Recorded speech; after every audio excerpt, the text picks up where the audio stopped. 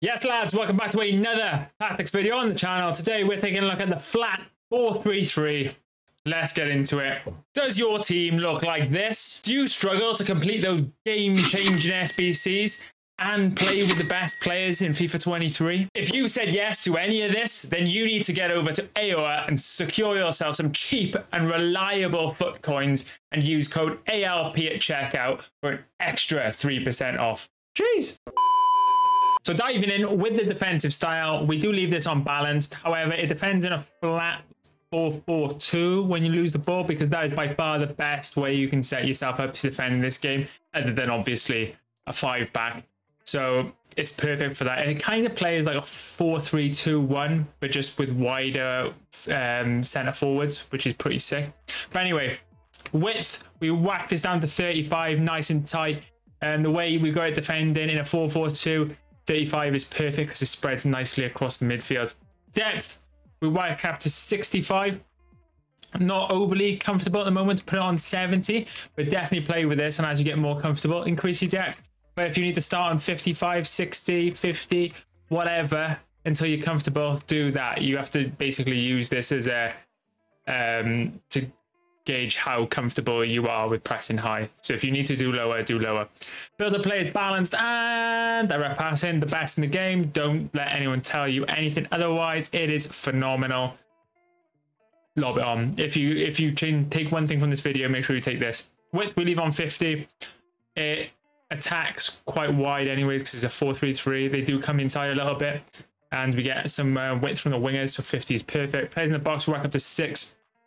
Does help with that, um, our offensive centre mid and our wingers get into the box to support our striker. Corners one, free kicks one, just to limit those counter attacks, especially when I'm playing. I'm playing obviously the elite division. It is a bit hellish, so the counter attacks are super strong. So we avoid them at all costs. So how we have it set up.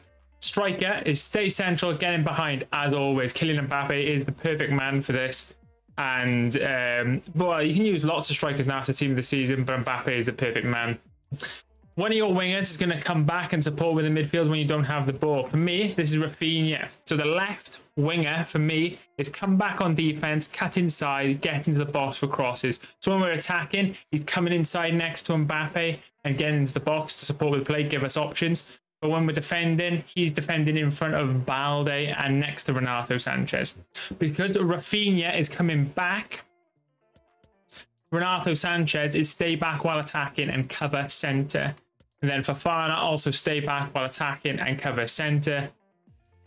And then Pedri, our attacking centre mid, is just on cover wing balance. So he's going to get forward, get involved with the play. He's almost going to play like a cam at times. Um, so notice now when we're defending, because Pedri's cover wing, he's going to be in front of Klaus. Fofana, Renato, Sanchez are going to push into the middle and defend in front of our centre backs. And then Raphinha is going to drop in to com complete that four bank. Sanchez is on stay forward, cut inside, and get into the box for crosses.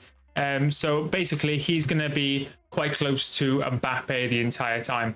It is good to have a winger with defensive stats like Raphinha. You know, he's got like mid 60s, so he can put a foot in. He's got good physicals, much better defending than Alexis Sanchez, and he's high high, which does help. Um, but you can use virtually anyone for that. If you've got three players like Mbappe up front, then it doesn't hurt. If you have like Jairzinho coming back, it's not going to make a difference. If they've got some physical stats, that would be helpful. So that's how you set it up.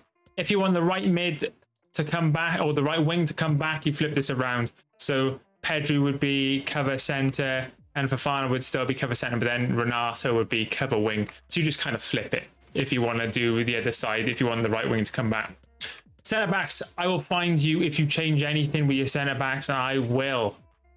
I will put you in an headlock. um, Klaus is stay back while attacking and overlap. Obviously, if we do need to, we can trigger the runs um, with LB or RB or whatever, but you can send your fullbacks forward with up and left on the D-pad, then up and right to hug the sidelines. Although with a 4-3-3, I don't really recommend use up and right to hug the sidelines because um, I don't know how that impacts the wingers and we do need them to cut inside. And then we have one fullback um, on balanced and overlap. So when Raphinha cuts inside, Balde is going to occupy this space and defend for us, which is super important. Um, it just gives you an extra option, an out ball, and Balde will be the best man for the most part to give that byline to look for those cutbacks. And then, oh, also, it doesn't matter which fullback you have go forward. So if you want your right fullback to go forward, have him go forward. If you want your left fullback go forward, have him go forward. It doesn't make a difference to how the formation works. Goalkeeper comes for crosses and sweeper keeper. It'll save you now and again. Not overly game changing, especially when it's Ederson. He's a bit garbage, but it'll help you out now and again. Also, stay tuned to the end of the video because we have some bonus content. We have not one, two Team of the Season League and packs, as well as our red one of five Elite Rivals red pick. So stay tuned. So we're going to jump straight into a game. We've actually finished all of our FUT champs. This is the squad, pretty strong. Um, so we're going into uh, elite rivals.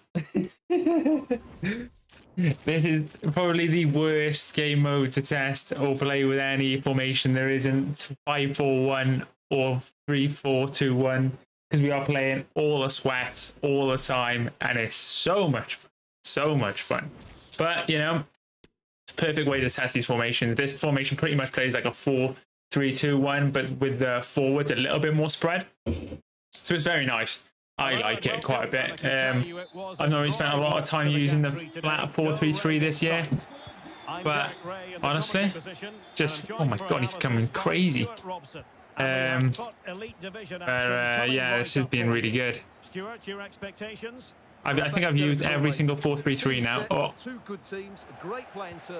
Nice. So you're going to see it's like, it's set pretty much the same as that 4-3-2-1. Um, I don't know what he's playing. It looks like he's playing a 3 or 5 back. It could be 5. I can't really tell. Alert defending. This is the lineup for the home team. Alban Lafont is the goalkeeper. Lucio plays with Your two afros. Oh no, one's Dino. Mm, I think, I think, I think Araujo's got to go. I think he might have to go.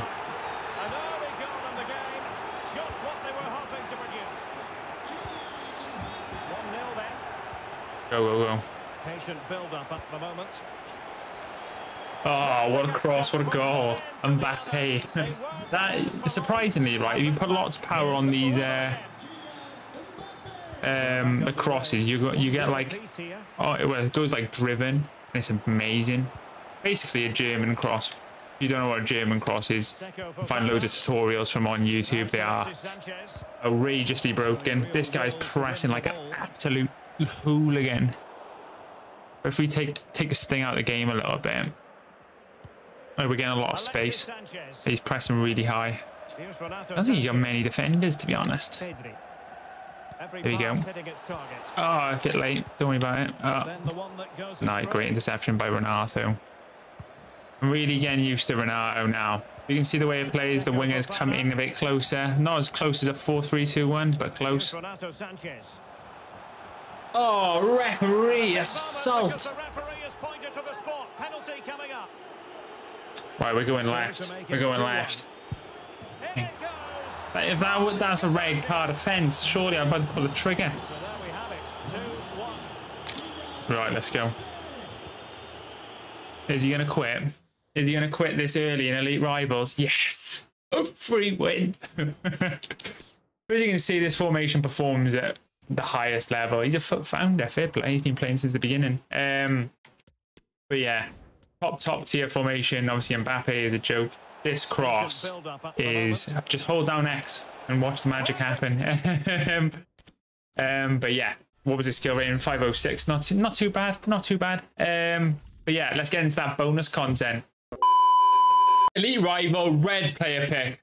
Let's go. Leave it in the comments if you open this elite player pick. We get, come on, someone sick. Oh, it's quite mid again this week. League One Tots player pack from the cup. Leave in the comments who you get from the cup. We get, come on, someone sick. Portugal, left wing back. Oh, I'll take that. A double for change. League One Tots upgrade. Let's go. Leave in the comments who you get from the TOTS upgrade. We get, come on, someone sick, please. French striker. Oh, it's never striker. Jeez.